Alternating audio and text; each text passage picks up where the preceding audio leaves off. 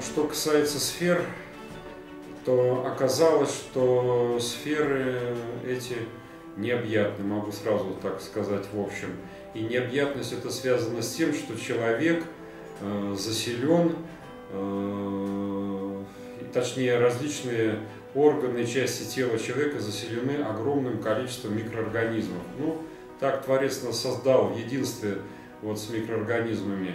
Ну, э, возьмем волосы, заселены, заселены, вот, вся кожа, там, руки, спина и так далее.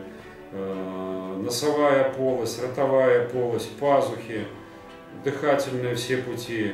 Дальше кишечник, начиная от э, пищевода и заканчивая прямой кишкой, заселены все мочевыводящие пути.